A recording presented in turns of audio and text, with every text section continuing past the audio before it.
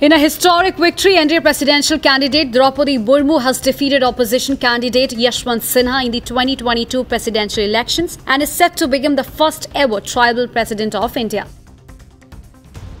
Congress interim president Sonia Gandhi appeared before the ED for questioning in connection with the alleged National Herald money laundering case, while senior party leaders and workers protested in the Lutyens zone.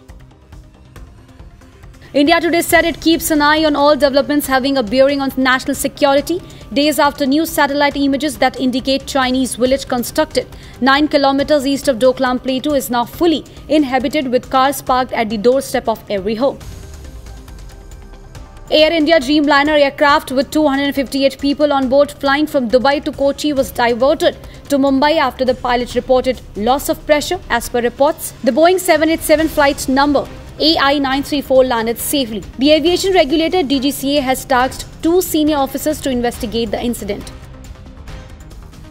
Rishi Sunak came one step closer to becoming the first non white British Indian and Hindu Prime Minister of the UK after he and Foreign Secretary Liz Truss made it through to the final round of the Conservative Party leadership contest to determine Boris Johnson's successor. Aamir Khan hosted a special dinner for the Grey Man directors Anthony and Joe Russo.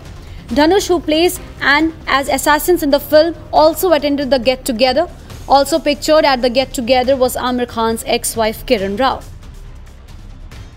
KL Rahul has tested positive for COVID 19. Rahul underwent a surgery recently and had resumed his training at the NCA in Bangalore.